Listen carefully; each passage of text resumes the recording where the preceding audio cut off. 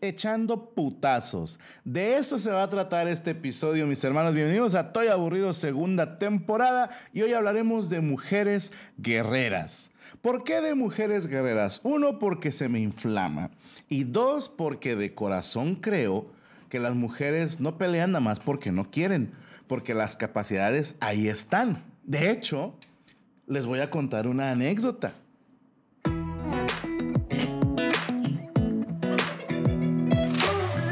Es momento de contarles una anécdota.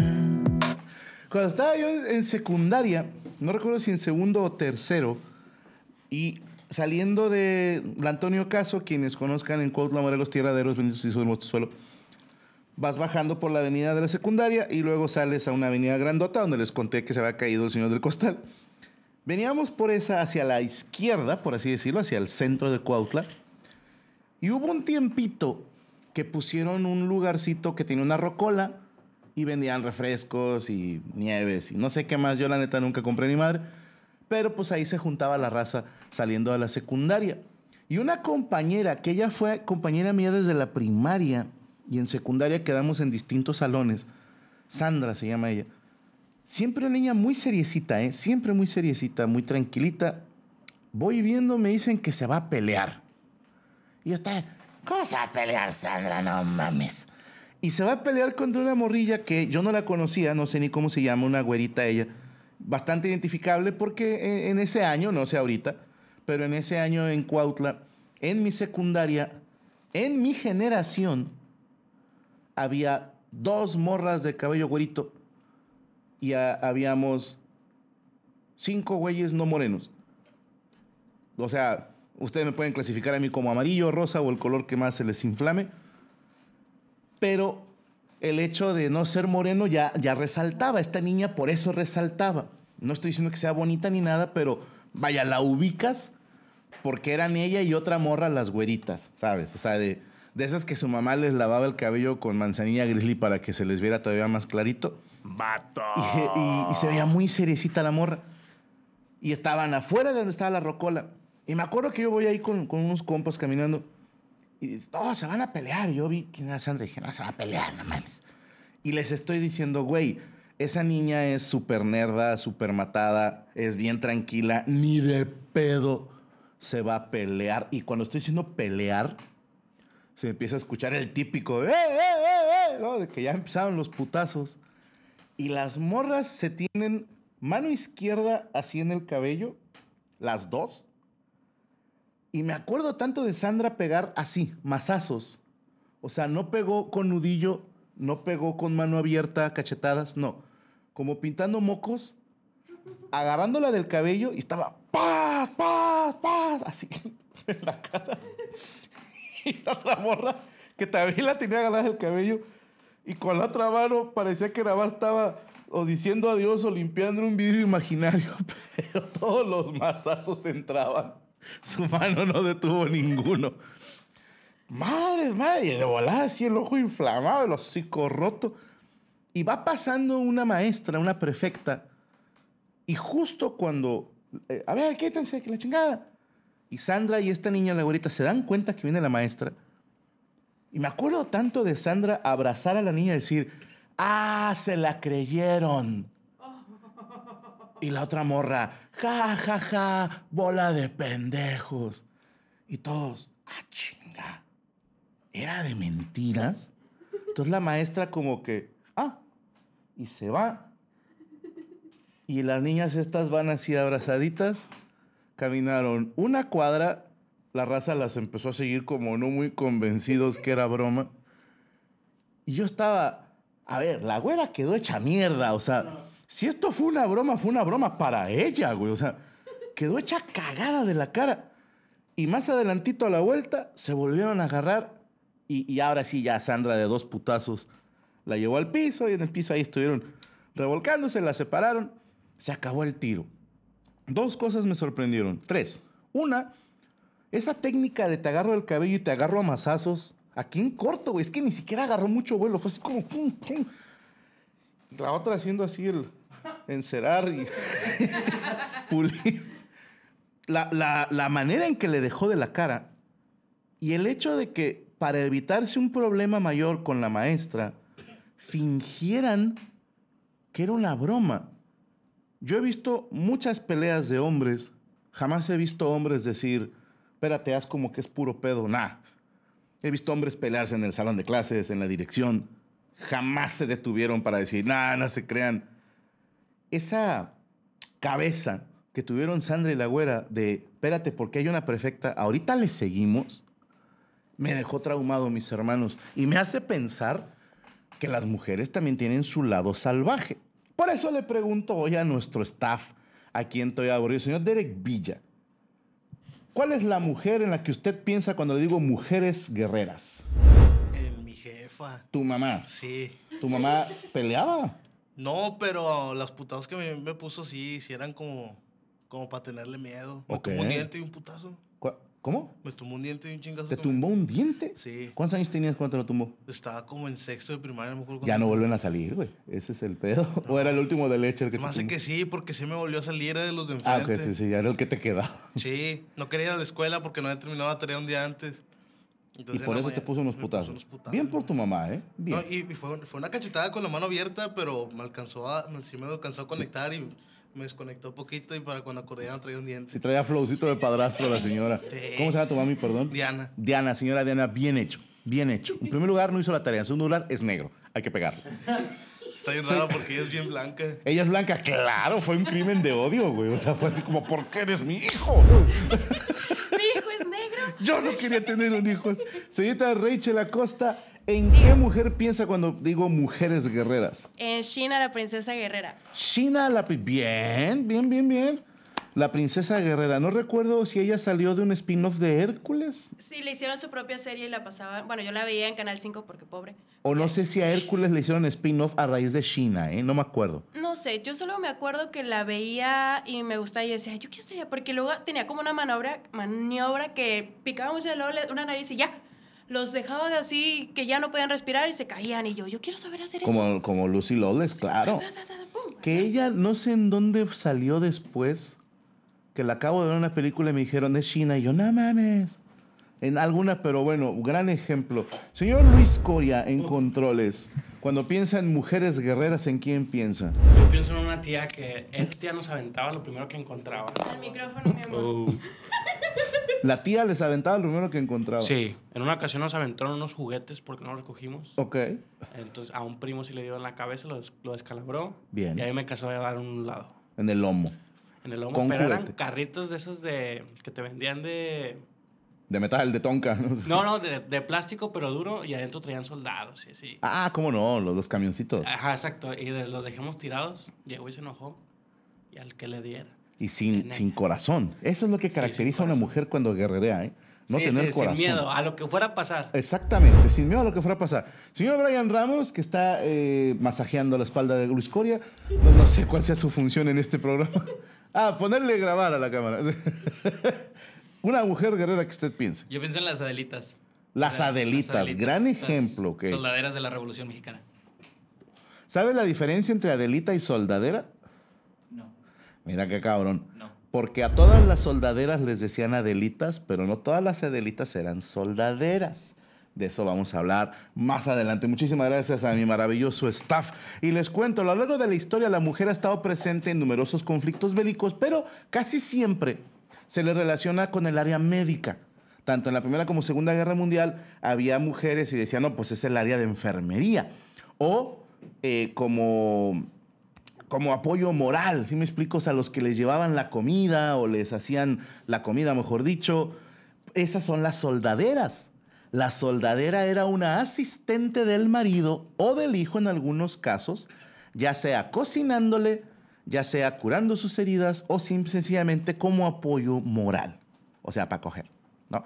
Eso era una soldadera. Pero dentro de las Adelitas hubo mujeres que, que peleaban. Entonces ya no es soldadera, ya tiene otro nombre, por eso le llamaban Adelitas. Hay otros autores que dicen que también se les decía cucarachas. Fíjate.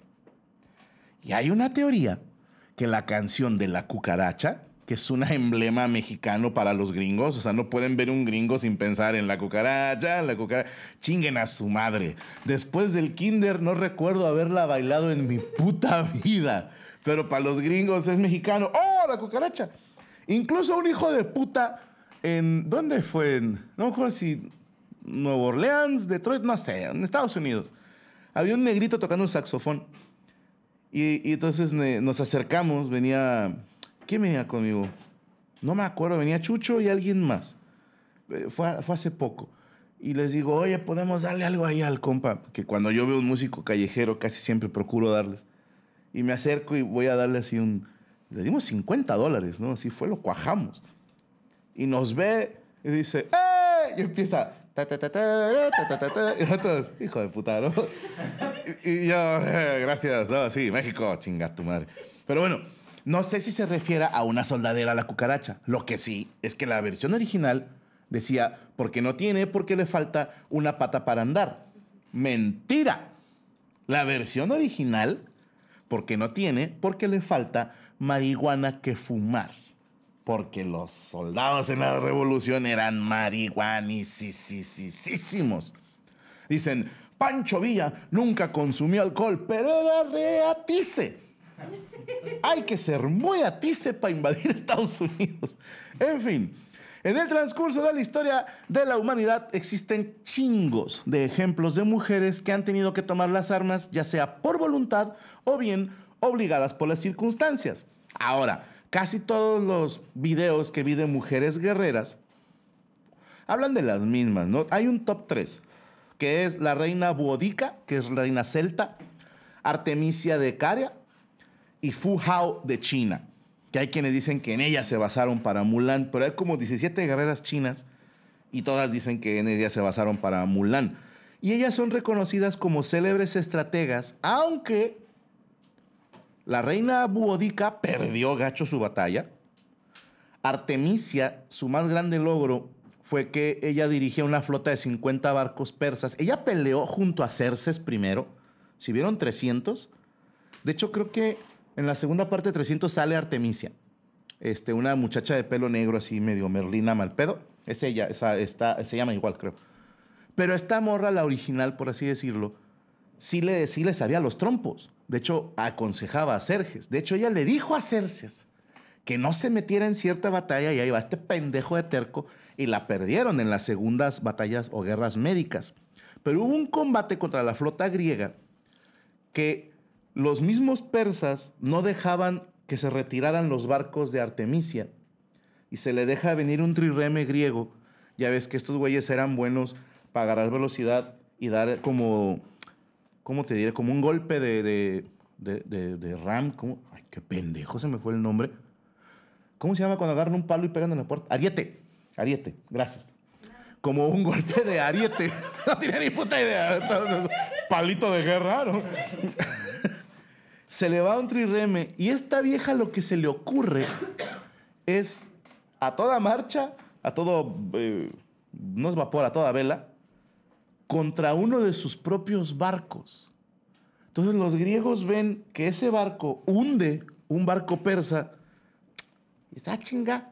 Entonces dicen, a lo mejor nosotros mismos capturamos ese barco y es de nosotros, a ese no lo ataquen. Y gracias a esa estrategia, la, esta Artemisia pudo escapar. Que es, es- un gran logro estratégico, pero hay que ser muy mierda para hundir tu propio barco de compas y decir, ah, ni modo, eran ustedes o nosotros. En fin, e- estas fueron estrategas, ¿va? No siempre estuvieron en primera línea, pero los ejemplos que yo les traigo son puras viejas que cuál pinche estrategia. Estuvieron en los putazos, ¿ok? Vamos con mi top. La primera de ellas, Rosa Bobadilla, alias La Coronela. ¿Tenemos imagen de ella? Ahí está. Que yo el apellido Bobadilla lo tenían mal pedo por una maestra mía en secundaria, la del botoncito, que en paz descanse. Pero esta señora, Rosa Bobadilla, vino a lavar el apellido.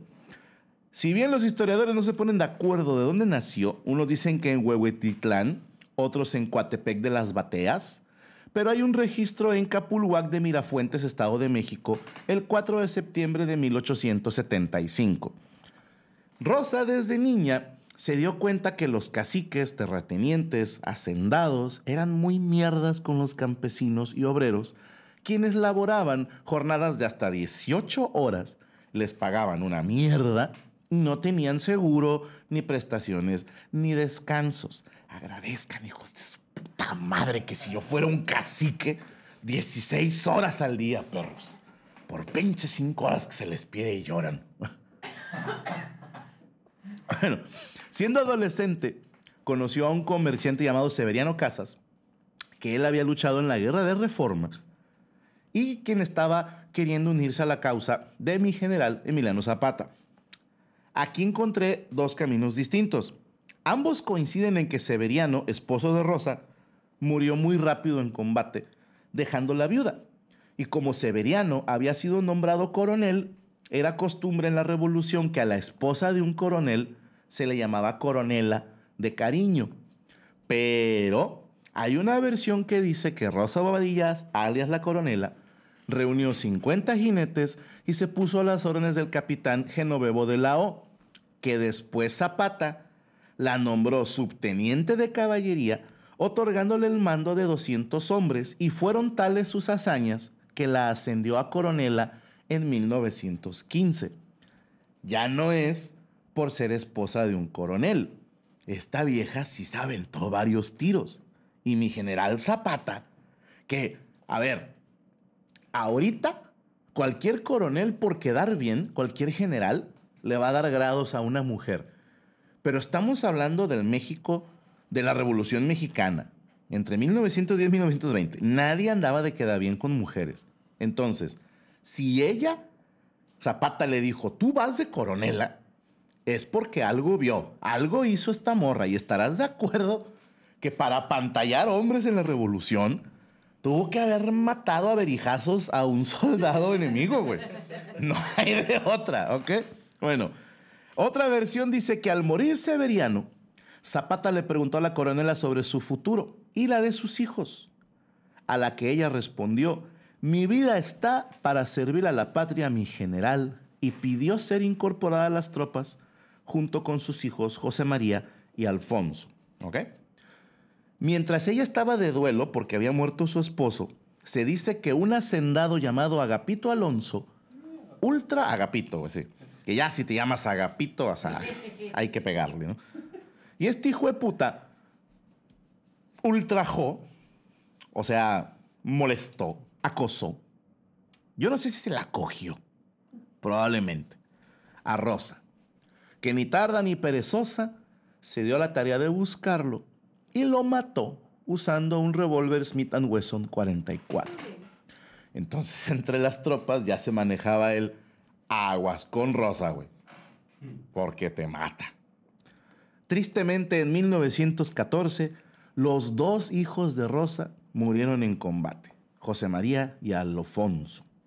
Cerca del municipio minero El Oro, entre los límites de Estado de México y Michoacán, Rosa y sus tropas cayeron en una emboscada por parte de los carrancistas, chingas a tu madre, de Alejo González, quien al enterarse que entre los prisioneros se encontraba Rosa, que decían que ella había matado al coronel Rodríguez, jefe del Estado Mayor, o sea, pinche Rosa, mató güeyes del otro lado de Alto Pedo. Y en chinga dijeron, ¿es esta pinche Rosa la coronela? Sí. En cuanto amanezca me la fusilan. Antes de que llegara la hora del amanecer, Rosa se alcanzó a escapar de la prisión y como estaba ahí en cortito, pues dijo, me van a encontrar de pedo, se escondió junto a un cadáver de un caballo. Yo no sé si ustedes han tenido la fortuna de pasar junto a un cadáver de un caballo, yo sí, en el libramiento que iba hacia Tetelcingo, la gente de Cuautla sabrá a cuál me refiero. Me tocó dos veces ver un caballo muerto, yo todavía olía. He olido un perro muerto y huele culero. Pero un caballo muerto, hermano. Porque cuando se mueren se empiezan a inflar y, y pasa si está así hecho una panzota y luego los mismos perros o coyotes muerden, explota y se hace un mierdero de entrañas que hace que huela peor, güey. Ahí se escondió Rosa. Tipo Luke Skywalker en el planeta Hot, que se escondió en las entrañas, así de, no me acuerdo cómo se llama esta bestia, el, ¿Era un tam tam? Un tam tam, creo que sí. Así se escondía junto al cadáver del caballo. Entonces, mientras los carrancistas la buscaban, pues no se acercaron mucho al caballo, pinches culos, porque dijeron, ay, huele feo, ¿no? Y Rosa escondida ahí, güey. Cuando se fueron, horas después, ella ahora sí salió de su escondite y se regresó para llegar con sus tropas. Una vez que asesinaron a Zapata en Chinameca, chinguen a su madre. Y el aire de revolución traicionada no implicó para muchos combatientes la claudicación, o sea, no se quisieron rajar. Rosa Bobadilla participó en la Liga de Comunidades Agrarias, pero jamás dejó su carabina 30-30 al punto que cada 15 de septiembre festejaba el grito de Dolores disparando al aire en el zócalo de Cuernavaca. Desfiló y en su larga vida en los actos conmemorativos del 20 de noviembre con sus cananas, donde vienen las balas, las eh, carrilleras, vestida de percal huipil, látigo y sombrero charro. Su casa de Cuernavaca cerca de los lavaderos se convirtió en un albergue para viudas y veteranos de guerra. La coronela murió en Cuernavaca en 1960. En el panteón de Acapatzingo, Morelos, descansa bajo la lápida que reza, descansa en paz al lado de Dios y de los héroes. De Rosa queda el recuerdo de su valentía en combate participando en 168 peleas y o combates. 168 balaceras se aventó. Y obviamente le hicieron su corrido, que dice en una parte, voy a cantar un corrido de una revolucionaria que anduvo de zapatista con esa bola suriana. Con la tropa de Zapata, ella, Rosa Bobadilla, la famosa coronela de sombrero y carabina. Se veían venir las tropas por los campos de Morelos. Era Rosa Bobadilla con 200 guerrilleros. Le mataron a su esposo, el coronel Severiano. Le mataron a sus hijos, pero ella siguió peleando. Cuando Emiliano lo supo que el pueblo seguía con ella, la llamó a su campamento y la nombró coronela. Paz descanse, Rosa Bobadilla, a.k.a. la coronela. Saludamos. Voy con el top 2. Acá traigo mucha data, ¿eh? Aguanten vara. Antonia Nava de Catalán, nacida en Tixla Guerrero el 18 de noviembre de 1779, se casó con Nicolás Catalán Catalán, o Catalán al cuadrado, con quien tuvo ocho hijos, cinco varones y tres mujeres. Como Nicolás había peleado con sus padres, se fueron a vivir a Jaleaca, donde vivieron por varios años hasta que estalló la Guerra de Independencia en septiembre de 810. Ambos se unieron a las fuerzas de mi general José María Morelos y Pavón y participaron del primer Congreso de Anáhuac en Tlacopec, Guerrero.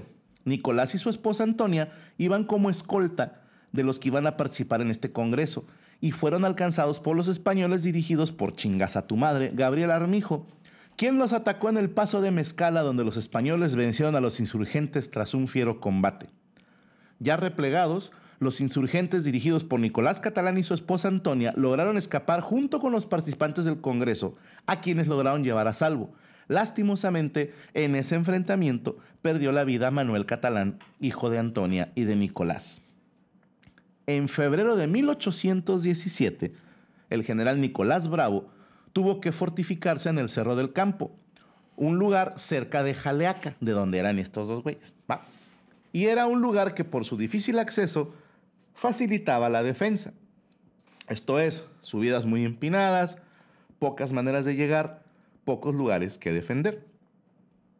El señor Nicolás Bravo contaba con un pequeño ejército en el que el lugarteniente era Nicolás Catalán, acompañado de su esposa e hijos. Las tropas españolas dirigidas por chingas a tu madre, Gabriel Armijo, al ver que el asalto sería complicado, por no decir imposible, pinches culos les dio miedo aventarse el topón y decidieron sitiar la fortificación. Por si alguien que no lo sepa, el sitiar una zona es la manera más segura de no meterte en pedos. Cortas el suministro de agua, cortas la llegada de alimentos y los que están encerrados en la fortificación, pues se les va a acabar el agua y la comida y en algún momento van a salir. Y así tú no pierdes tantos soldados queriendo entrar a los putazos.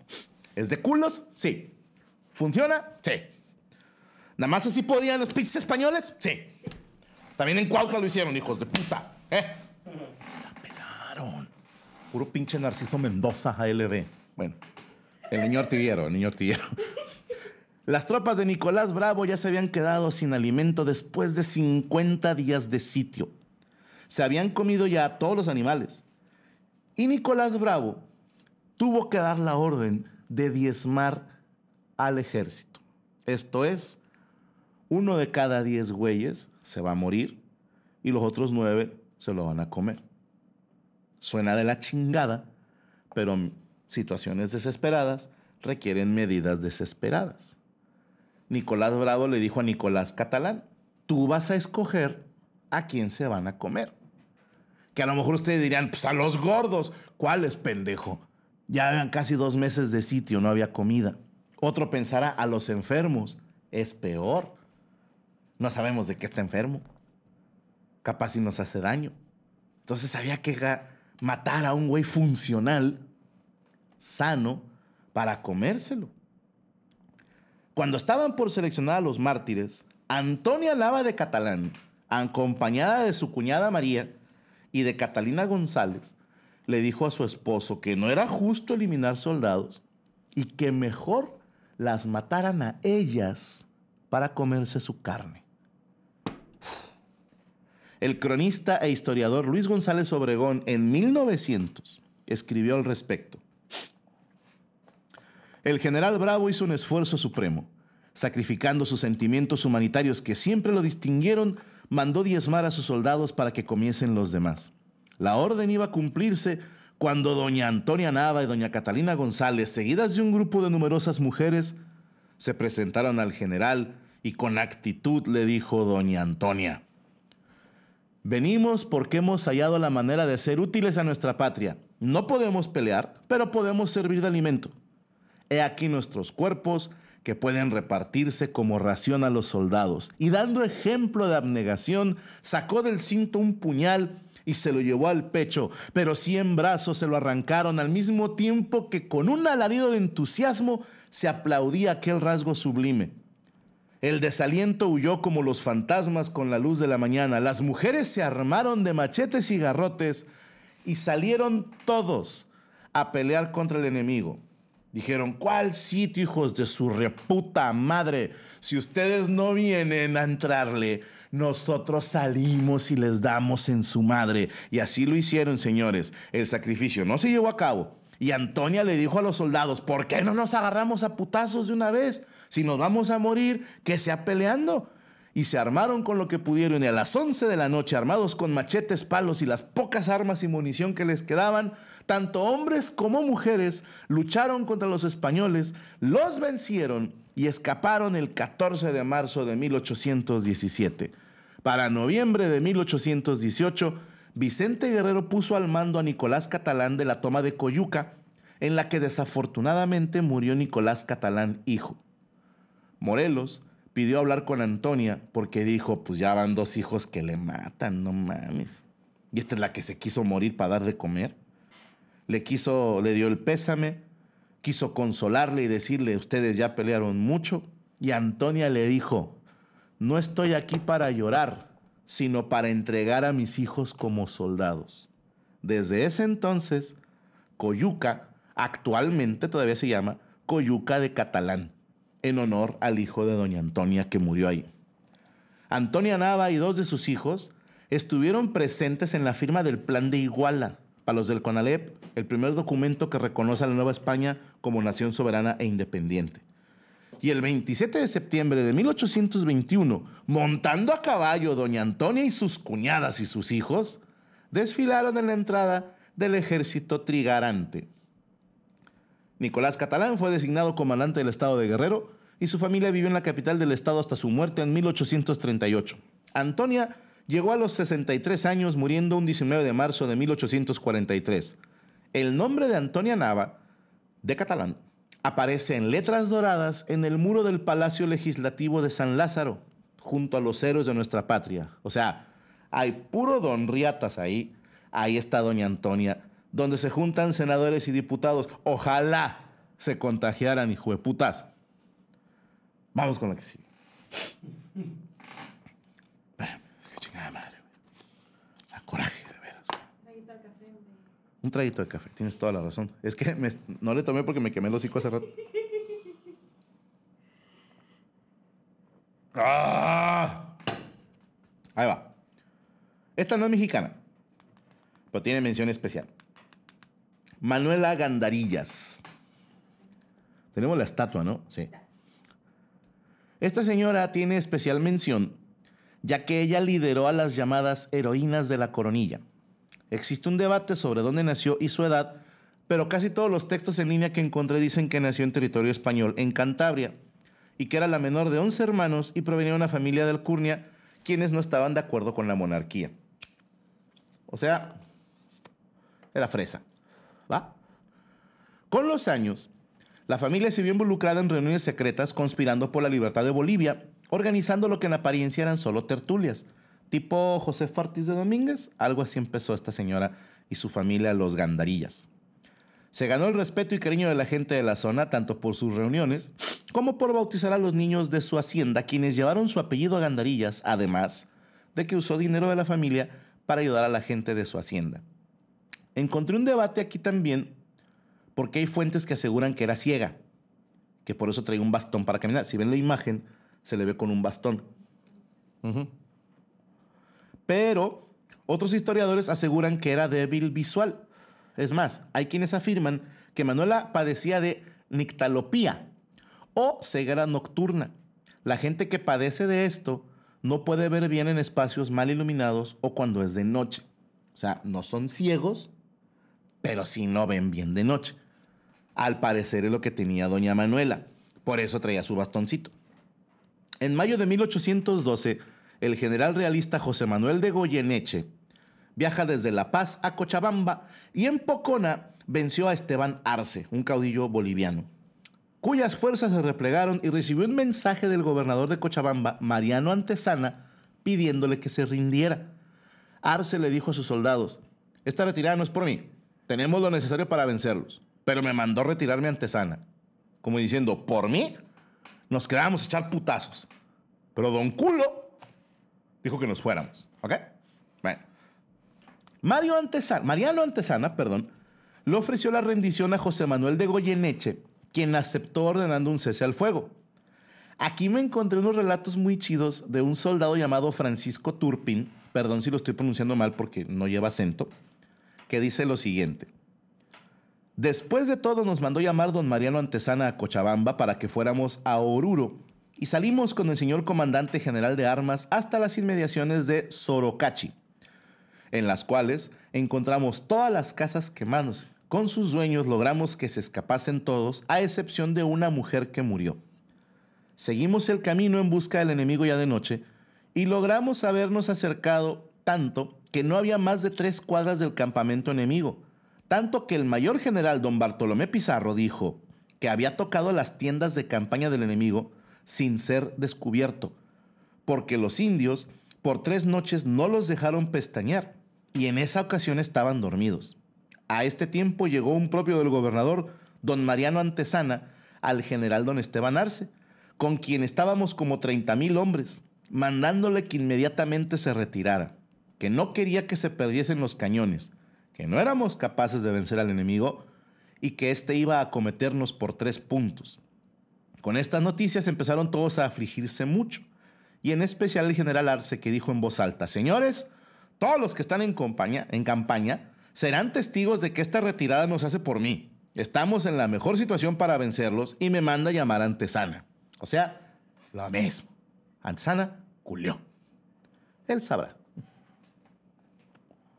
De acuerdo con lo resuelto, Arce, junto a Carlos Taboada y otros 300 revolucionarios sin reconocer el armisticio, o sea, no se quisieron rendir, se retiraron hacia el sur, pero el 7 de junio de 1812 se encontraron en Moyemoye con los cívicos y una compañía de mercenarios migueletes de Chu, ay, perdón, Chuquisaca, actual ciudad de Sucre, fueron derrotados y capturados y los líderes ejecutados.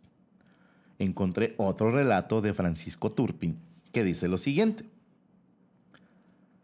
Habiendo quedado yo en Cochabamba y en destacada en un lugar llamado Colquepirgua, dijeron que el general Arce se había situado en un lugar Pocona con toda su gente.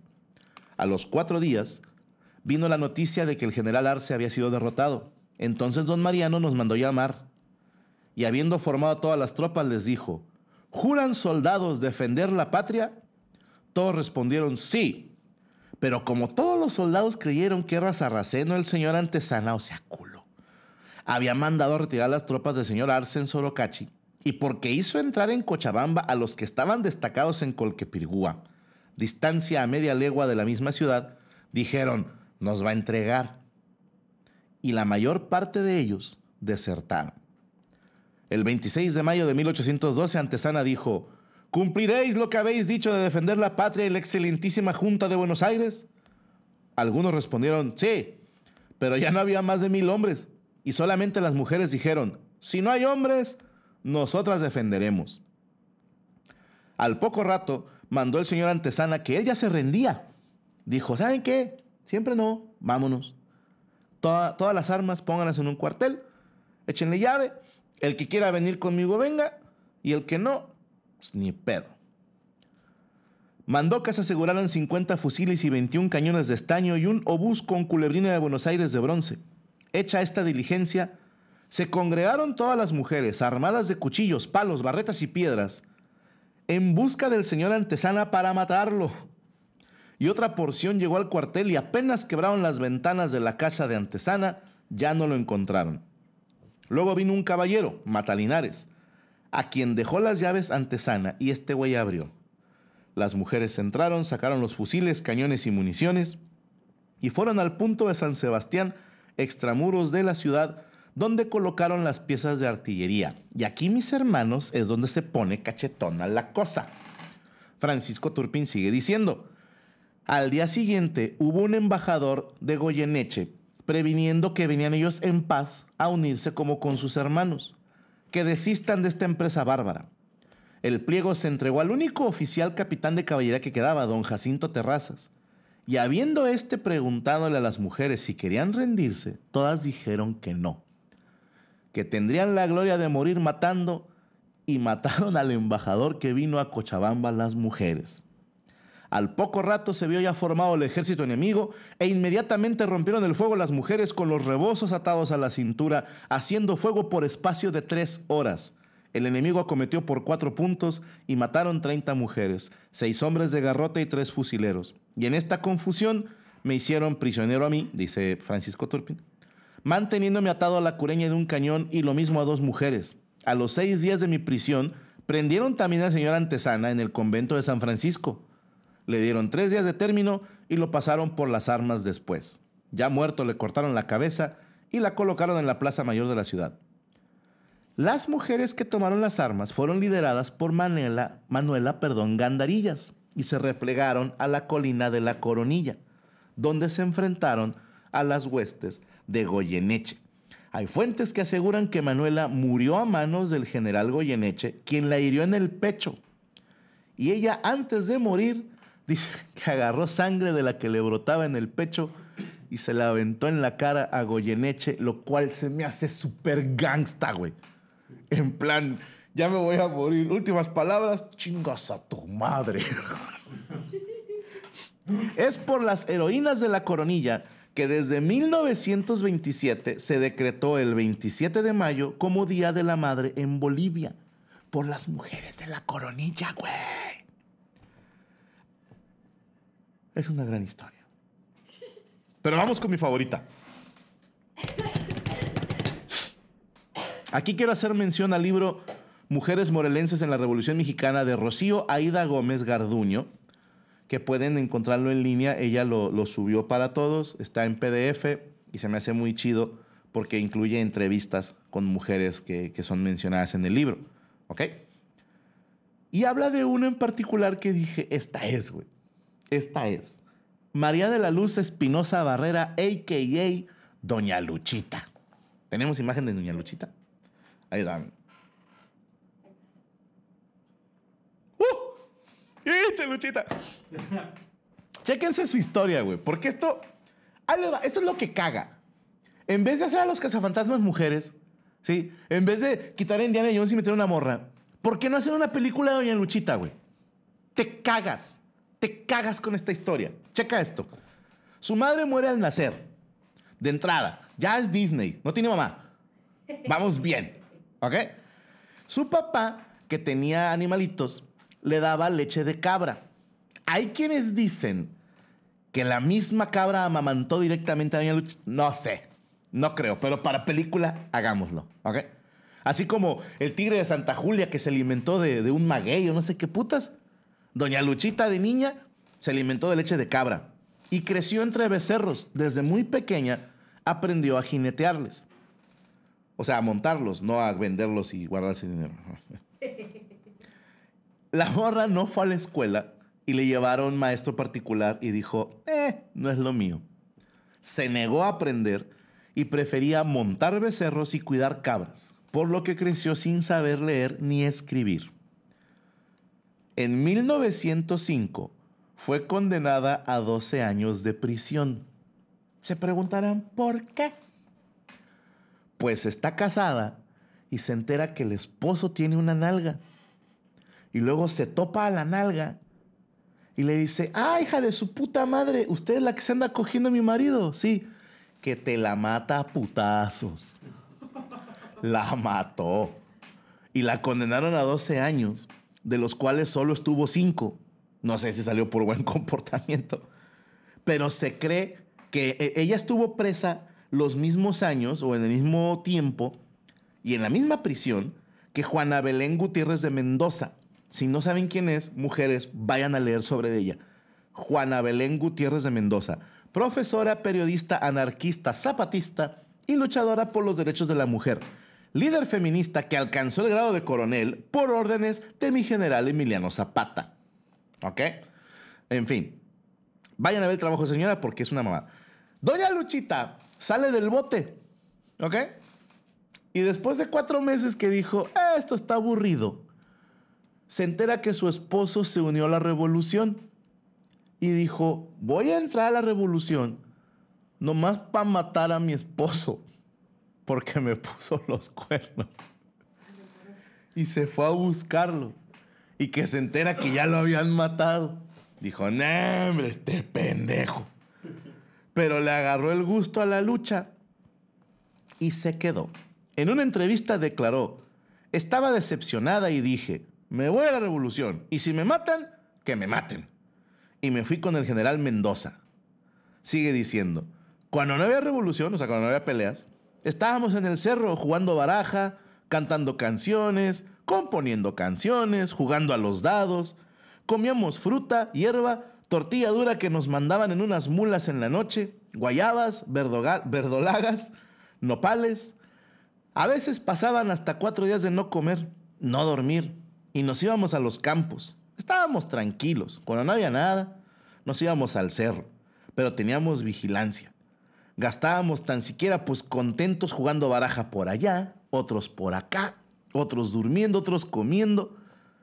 Una pareja parada de mulas y nos daban a cada quien un puñito de totopos hasta que alcanzara. Eso era nuestra comida. Y un jarro de agua cargábamos, o ánforas grandes. Ella acostumbraba a vestirse como hombre y se comportaba como cualquier soldado. Nunca hizo labores de soldadera. Ni enfermera. Su trabajo era estar en primera línea en los balazos. Entró como soldado raso y subió hasta el grado de coronel por méritos propios. Aquí perdónenme, pero se chingó gacho Doña Rosa Bobadilla. Doña Rosa entró con caballos y su puta madre. Esta entró de nada. Entró de peón, güey, como en, en, en Age of Empires.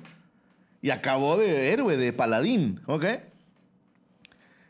Eh, hay una entrevista que le hizo Rocío, la autora del libro, y donde le pregunta, ¿y usted cree que los zapatistas sabían por qué peleaban? Doña Lucha dijo, sí, ¿cómo no íbamos a entender lo que peleábamos? Peleábamos tierra, agua y libertad. Y peleaban que ningún desconocido iba a venir aquí a comprarnos las tierras, ni a sembrar nuestros campos. Si nosotros no andábamos buscando sus tierras, ¿por qué ellos venían a buscar las nuestras? La gente era pobre, pero no nos dejábamos. "Uh". Y luego sigue diciendo, para mí todas las batallas fueron duras y sabrosas. La autora le pregunta, ¿cómo, mames, cómo que sabrosas? Dice, sí, porque teníamos el orgullo de decir, peleamos, pero con satisfacción. Ustedes comen ahora por nosotros. Si nosotros nos hubiéramos dejado que nos trataran mal, ¿qué harían ustedes ahora? Ganamos por ustedes. ¿Qué haríamos hoy si no hubieran ganado? Estarían debajo de las mesas de las demás naciones, comiendo las escamochas y encuerados llorando. ¿Qué hicimos? Evitamos una desgracia, ¿verdad?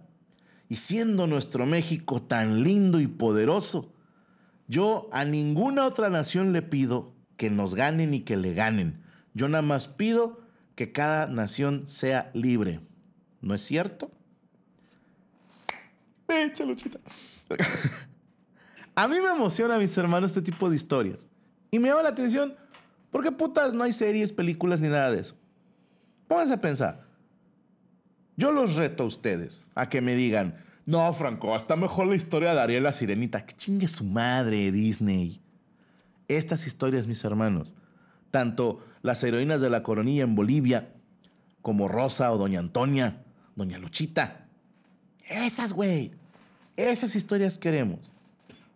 Y como estamos hablando de mujeres que se agarran a chingazos, vamos a... Es momento de una sección que a mí me gusta mucho, que dice así. Molestando a mis amigos con llamadas por teléfono. Vamos a hablarle a mis amigos. Dime una letra, Rachel. L. L. Ok. A ver, a ver. Ya. Me sale. ¡Ah, mira! Me sale Larisa. Precisamente una mujer. Vamos a marcarle, a ver.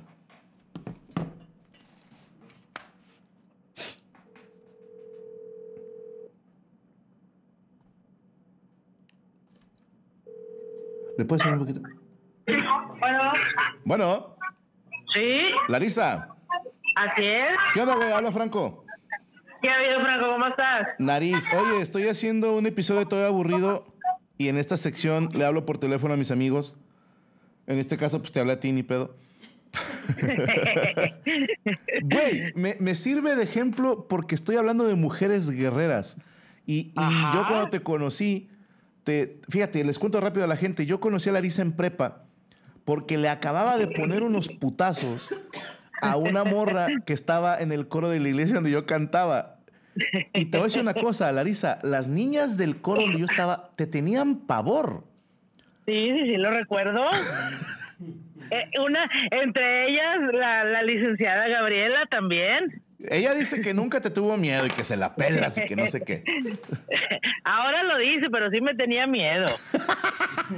Si eras muy peleonera, Fíjate que, o sea, sí, pero como que los rumores lo hacían más grande. ajá, a ver. O sea, sí me agarré muchas veces a chingazos, pero por ejemplo, cuando yo entré en la prepa, en la prepa nunca me agarré a chingazos, pero ya tenía fama. Ok. De la secundaria y era nadie se meta con Larisa porque te pone unos chingazos. Y ponle tú que sí, ¿verdad? En, en secundaria, se ¿cuántos tiros te rifaste? fama. ¿Cómo? ¿Cuántos tiros te rifaste en secundaria? En secundaria, uno, dos, tres, cuatro, como cinco, seis. No Como me acuerdo. cinco pues no, o no. seis tiros. No llevo cuenta. Ah, bueno, es que luego estuve en dos secundarias. Ah, no, bueno. ¿Por Y qué te expulsaron de una? No, acá en la otra fue una. ¿En, en- en cuál te peleaste? Tú estuviste en la rural, ¿no? Sí, primero en la Margarita, en la 7, Ajá. Y luego me... No me corrieron, todo, todo el mundo dice que me corrieron, pero no, simplemente la directora le dijo a mi mamá que iba a entrar condicionada. O sea, Pero me cambiaron y en la mañana el director no me aceptó porque dijo, niña, es problema, yo no quiero. o sea, sí te corrieron, güey. Fue algo así. Y te fuiste a la, a la A la Margarita. 28, a la Margarita de Gortari, que es la 28, que era en la tarde, que le decían la rural. La rural, así le conocíamos todos. Yo ahí di clases, güey, no hagas pedo. Así es, era la, era la rural. Y ahí fíjate que el tercer día no me agarré a chingazos, pero ya andaba apoyando ahí una trifulca. Ok, fuiste de paro nomás. Sí, sí, sí. ¿Cuál es el, el tiro que más te acuerdas, güey? Así que dices, este tiro estuvo sabroso y se platicó. Fíjate que ahí en la, por favor, en la, ahí en la secundaria, en la rural, dos semanas antes de graduarme, había una mona, se llamaba, bueno, se llama Azalia, Ok. Este, pero nos, digo, ella me cantó el tiro desde el día que yo entré a la, a la secundaria por un güey. Ok. Y si tú vieras al güey, dices, no debes ni una moneda de cinco centavos por él. ¿Cómo se llama el güey? Peligro lo conozco. no, no lo conoce, se llama Edgar. Este, pero nunca, o sea, siempre ella me cantó el tiro desde el primer día que yo entré a secundaria, ella también era nueva y nos vinimos agarrando dos semanas antes de la graduación. O sea, se esperaron tres años para ese tiro. No, dos, porque yo entré Ah, en segundo sí, acá. cierto. ¿Y Sí. por qué, perdona, pregunta, ¿por qué no aceptaste el tiro la primera vez? No, ella siempre se me rajaba. Yo siempre le decía, nos vemos en el parque, allá en el de Getsemaní. Ok. Le decía, nos vemos en el parque en la salida. Sí, ahí nos vemos. Y nunca llegaba. Y todos los días, y todos los días. Y luego ya como que se calmaron las aguas. Y hasta tercero volvió así como que otra vez dije, pues sobres, ahí te veo en el parque. Y no, y no llegó. A Y lo mejor no sabía dónde quedaba el parque. no lo ubicaba. y ya al día siguiente salimos temprano porque había un convivio de maestros y yo me acuerdo que traía una mochilita y estaba recargada, no sé si te acuerdas que había como una bardita en la entrada de la secundaria. Sí, cómo no, que te podías sentar ahí. Ajá, entonces yo estaba recargada ahí y ella viene y nos habíamos quedado de ver un día antes. Entonces viene pasando y le, di- y le digo yo, sí puedo decir malas palabras, ¿verdad? Pues no, puedes decir lo que quieras. Este, Sí, no, la única es la que mi mamá es la que me viene oyendo aquí al lado. Saludos a tu mami. y, y venía, y entonces estaba yo recargada con un amigo. Y le digo yo, te culiaste, le dije yo así. A la vieja. Y luego me dice, a, a ella, sí, le digo, me dice, pues ahorita, y yo, pues sobres, le dije yo. Y el chavo que estaba a un lado dice, a la que pierda me la cojo. Ah, bueno. Y le digo, sí, y le digo yo, uh, se va a dejar perder, pero en ese uh, se va a dejar perder, mi, mi mochila ay, intencionalmente se fue resbalando. Ajá. Y se me, se me deja venir, pero haz de cuenta que ella traía, ella no usaba mochila, entonces traía un puño de lápices con plumas y se me deja venir al cuello. Ok. Y yo nomás la, o sea, aventándola de la cara hasta que, porque me dobló en la, en la bardita esa, Ajá. me logro enderezar y entonces nos agarramos, pero adentro de la secundaria, fue lo peor del caso. Ok. Entonces, ella lo único que hacía era nada más me estaba jalando el pelo, el chongo, yo ya deschongada, pero entonces yo con el puño le daba en la cara y con el otro en la panza, entonces era para arriba, abajo, arriba, abajo. Llegó el director, no nos podían separar hasta que llegó una maestra que medía como, pues para mí en ese entonces yo creo que unos dos metros, Ajá. y me abrazaba y me decía, Larisa, ya suéltala. Y yo, pues es que yo no la tengo agarrada, yo nomás le daba los chingazos. y, y, y, y ella no me soltaba, y pero nomás me seguía deschongando. Entonces nada más la agarro de las greñas y yo, que me sueltes, pendeja. Y la aventé. Y ya no, pues ya sabrás, les amargamos la, la fiesta que tenían a los maestros, eh, sus- suspendidas las dos semanas, pero dije, bueno, el tiro cantado desde el inicio de, de dos años antes estuvo bueno. Yo nomás de chongada y ella traía una bola en el cachete y sabrá Dios qué tanto en la panza. Oye, ¿y, y el compa se la cogió? No, Ah. lo peor del... No, aparte estaba bien fea la chava. La verdad, pero sí, no, fue, fue de, los- de los mejores tiros de esos de los que se disfrutan chido. Pero no te expulsaron ni nada, ¿no? No, me suspendieron dos semanas y nos decían que ni siquiera podíamos pasar por la secundaria, pero ya ves que el jueves era de mercadito. Simón. Entonces yo pasaba por en medio del camellón y le chiflaba a todos. Entonces como Polariza era popular, entonces todos, todos me hablaban, todos, o sea, volteaban y se reían y ella vivía a una cuadra de aquí de la secundaria. Ok. Y yo les decía, eh, una semana antes me hablaron a la casa para venirme a tomar la foto de generación. Ok. Entonces vine a tomarme la foto, pero a ella no le hablaron. Entonces yo como quiera me la seguía curando de ella. Le decía, mira, a mí sí me hablaron y a ti no. Po- Dije, yo sí Pobrecita salí, Salia, yo sí salí en que la foto. actualmente es policía municipal. A la madre. en la fuerza civil y la chica. Así. O- oye, No, Larisa. no. A- amigas, amigas. No, amiguitas, todo. Esto hace mucho, ya pasó, ya fue. Oye, Sí, gracias por tomar la llamada. Digo, sé que estás ocupada, tienes a, a tu niño. ¿Cu- eh, cuán- ¿Cuánto tiene ya el tocayo? Un año, tres meses. No. Aquí también te viene oyendo. Apenas viene lo bueno, comadre, los terribles dos, viene la chinga. no. No, si ya desde ahorita empieza, no, no se está en paz. Pues eh, algún día le contarás todas esas aventuras. Ay, esperemos que las tome bien y no siga el ejemplo. nah, no tiene de dónde salir peleonero. No, pero si ya, ya, ya hace unos berrinches y te hace las trompetillas cuando se encabrona por algo, entonces pues ni cómo quejarme. Hay una, una la seguiré pagando. El carácter sale. No, muchísimas gracias. Oye, Sí. se le a tu mami y a tu hermana, a Giovanna. Sí, muchas gracias. Ahí saludos a toda la, a toda la bandera de Hollywood, De Frank Hollywood. de Frank Hollywood. No, ya está. Cuídate mucho, ¿eh? Muchas gracias. Órale. cuando ocupen un paro, pues ya saben a quién hablarle. Ya sabemos a quién hablarle, güey. Cuídate mucho. Ahí está, raza. De propia voz de Larisa. Si alguien la conoce, si pues dejo, me asustaste, güey. Si de repente está Cory parado. así. Ahí está. Les tengo otro episodio de Mujeres Guerreras que no quise hacerlo más largo porque era mucha data, pero va a ser uno de puras rusas, ¿ok? Porque son unas historias muy... No, rusas de peleas, no de chichis. Este, ese lo veremos después porque ya tengo preparado el episodio de la siguiente semana.